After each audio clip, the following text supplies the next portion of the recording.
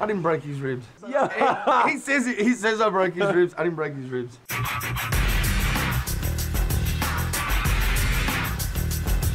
We come across a very handsome character. He's the man that took out Stonebridge's wife. He's a killer now, big man. You're a f***ing dead man. You hear that, Lillian? You saw what I saw. I'm not the one shooting. Why don't you go do something useful, Hanson?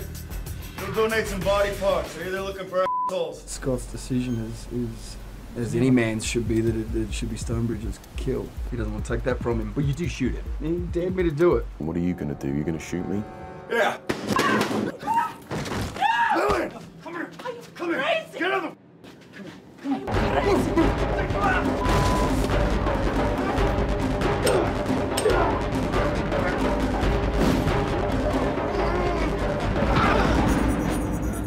I think the story goes. Shane heard himself. For the record. He was already saying this rib was sore when we're going into this fight. I was as gentle as I could be with Shane, but apparently it turns out that he um, went to the doctors after that, which he hadn't been to the doctors with this rib pain previous to this. Went to the doctors and found out that he had two cracked ribs. That's my story. Uh, I'm sticking to it. Yeah. but I, you know, I did it, I'm sorry.